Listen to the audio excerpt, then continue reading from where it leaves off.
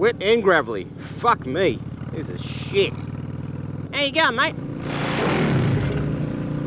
G'day trendsetters, Phat Cruiser here, your friendly Illawarra motovlogger. How are we going today guys? I'm doing superbly. It's a beautiful, beautiful Sunday morning and I'm out on the bike doing the uh, Berry, Kangaroo Valley, Robertson, Macquarie Pass run. Fantastic, loving it. But today, I just wanted to have a little discussion about how riding a motorcycle has made me a better driver.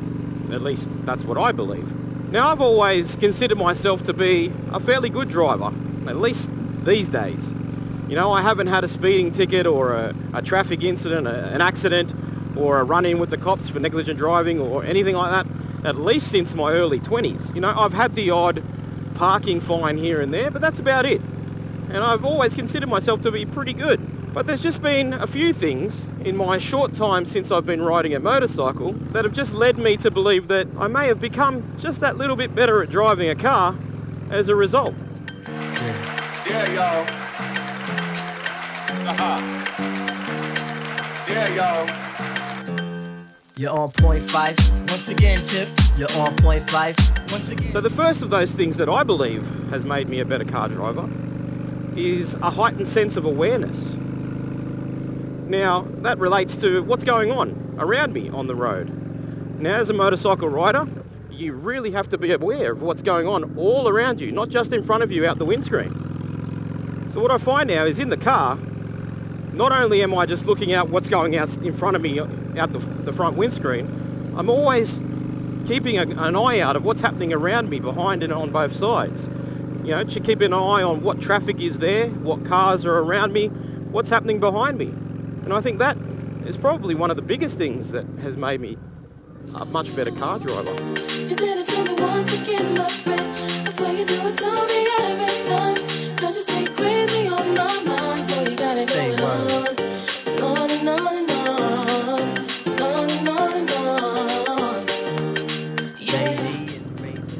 the second thing that I think has made me become a, a better car driver is the shoulder check. Obviously it's a very important thing to do while you're riding a motorcycle and I've always done it as a car driver as well. Before I've taken off and before I uh, change lanes I always check over my shoulder to make sure that there's nothing in my blind spots. But what I found was previously when I was looking over my shoulder while driving a car I wasn't actually looking for anything. You know, I'd, I'd look over, I'd check, I'd see if there was anything there, and I'd go. Fair enough. But now, since I've been riding a motorcycle, when I'm looking over my shoulder, I'm actually actively looking for something to be there. You know, I'm looking for smaller objects like motorcycles, pedestrians, bicycle riders. Whereas before I just check, very quick glance, I couldn't see anything, I'd go. Now I'm actively spending some time making sure that there's actually nothing there before I take off. And I think that's a great thing. This is the year that I come in and just devastate. My style is great, action peoples cannot dominate. My rhymes are harder than last night's erection. Don't blame it close, I have this mic up in your midsection. My shit is love, simply meaning that my joint is tight. So the next thing is that I'm now observing what's happening on the road a little bit more. I'm watching other car drivers to see where they're going and what they're doing. In the past, you'd see things happen on the road. You might see some guy overshoot the line at a stop sign. And you don't really understand why he did that. You know, you just say, oh shit, look, that dickhead just overshot the stop sign. But now I'm actually taking more notice of what drivers are doing on the road and I'm getting a better understanding of why they're doing the things that they do. You know, I'm seeing what's happening in the lead up to those things happening. You know, sometimes you see a car, he'll be swerving around a little bit in his lane. You know, someone that's not fully switched on, not concentrating on what they're doing. Or, you know, you might see someone, they're going a little bit too fast when that traffic up ahead is all stopped, you know. And you see that happen before they actually hit the brakes, lock up and go, oh shit, the traffic's in front of me, you know what I mean? And I'm also finding that I'm observing the driver themselves. Sometimes those distractions, they happen when you're, when you're driving a car. You know, parents with rowdy kids in the back trying to control their children, lady office worker running late for work doing her makeup in the car. All of these things, little distractions, that cause the lead-ups to those incidents to happen. And I'm finding that I'm keeping an eye on what's going on inside the car as well as what the car's doing on the outside. And obviously, the main culprit, the, the biggest thing that affects us motorcycle riders as it relates to other car drivers on the road is mobile phones. Fuck me dead. If I had a dollar for every car driver that I've seen with their hand on a mobile phone, I'd be a rich, rich, rich, rich man. It's the number one distraction for car drivers. Absolutely, bar none. But by the end of the day, you'll be on my job. Real name's Malik, my hobby's putting MCs to the test. And if you front, I'll put my foot up in your freaking chest. Freestyle fanatic,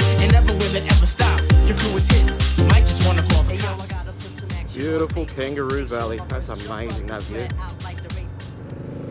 And I suppose that brings me to the next thing, mobile phones. In the past, I had been known to hold on to that mobile phone a little bit on occasion, maybe send the odd text message here and there. But now, no way. There's no way that I do it. Even if it's mounted, I tend not to touch the mobile phone. Sure, on occasion I'll probably, you know, press a button to change the track on my Spotify playlist or something like that. But these days, if I need to do something on the mobile phone, I'll either get my passenger to do it. Give us a sec, just got to concentrate through this turn. Yeah, so I'll either get my passenger to grab the phone, read out the text message, send a reply, you know, change the playlist, whatever.